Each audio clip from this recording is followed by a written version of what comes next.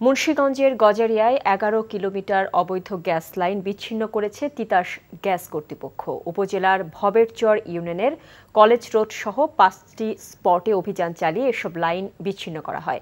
এগারো কিলোমিটার অবৈধ লাইনের মাধ্যমে প্রায় তিন হাজার সাতশো আবাসিক সংযোগ, একটি ঢালাই লোহা কারখানা এবং তিনটি রেস্টুরেন্ট ও পনেরোটি চায়ের দোকান চলত বলে জানায় তিতাস গ্যাস কর্তৃপক্ষ। অভিযানে জেলা প্রশাসনের সিনিয়র সহকারী কমিশনার উজ্জ্বল কুমার হালদার তিতাসের সোনারগাঁ আঞ্চলিক বিপণন বিভাগের ব্যবস্থাপক আতিকুল ইসলাম সহ অন্যরা উপস্থিত ছিলেন। পর্যায়ক্রমে সব অবৈধ গ্যাস লাইনের সংযোগ বিচ্ছিন্ন করা হবে বলে তারা জানান।